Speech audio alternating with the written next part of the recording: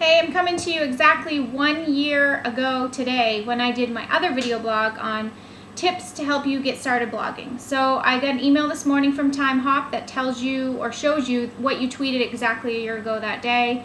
Um, I forwarded it to Justin Brackett. He started Develop Socially. That's who I did the guest blog post for um, a year ago today on that. And he said, awesome, I think you should do the same exact thing but a year later.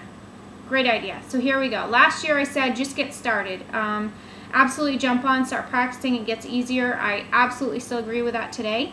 But I got three more solid tips in case you have started and you're a little bit farther along. One, be consistent. I don't lead by example, but you gotta do the same thing, even if it's only once a week or once a month. Schedule time if you can't find time, lunch break, you know, 2 p.m., when you get home from work after going to the gym, hence the hair, sorry about that. Um, but try to be consistent too. BYOB, I practice, preach, build your own brand.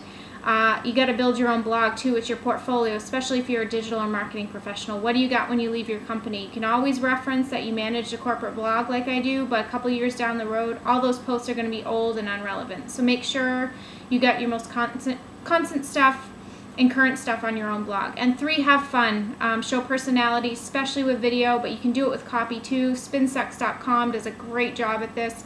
Lisa and Gini always add commentary um, at the end, no matter how serious the topic is. And the best part is in the comment section.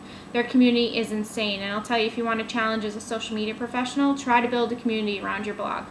That's definitely the biggest challenge I've had. So those are my three tips. Be consistent, BYOB, and have fun.